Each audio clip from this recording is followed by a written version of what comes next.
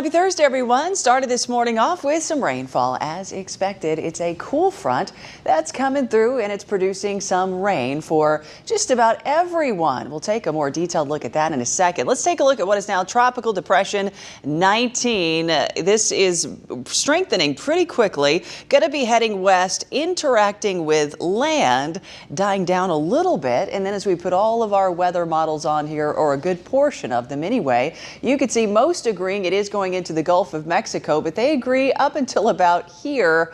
And then where it goes from there, well, we still don't know. Let me show you. This is the European weather model.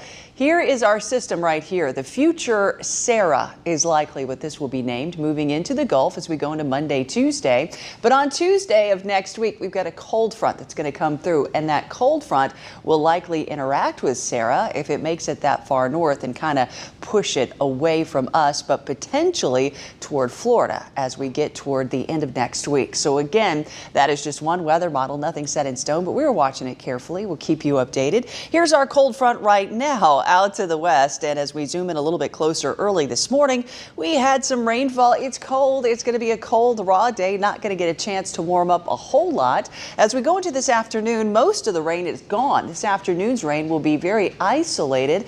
And late this afternoon and evening, hardly any around. We'll clear out overnight. And as we go into tomorrow, we're looking at mostly sunny skies. It's going to be a perfect way to kick off the weekend. Saturday, even more so. Lots of sunshine every day this weekend, by the way way. We'll warm up a degree or two, so by Sunday, under partly cloudy skies, we'll have highs near 70 degrees. Now, Monday should be a dry day as we go into Tuesday. Here comes that cold front I just showed you.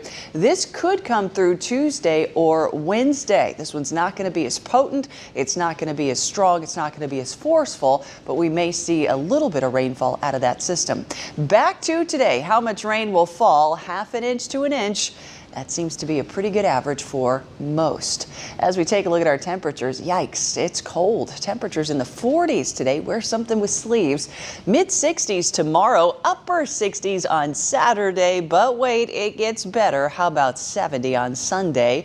We'll stay in the lower 70s until that cool front comes through. If it comes through, could produce a few isolated showers and slightly cooler by the middle part of next week.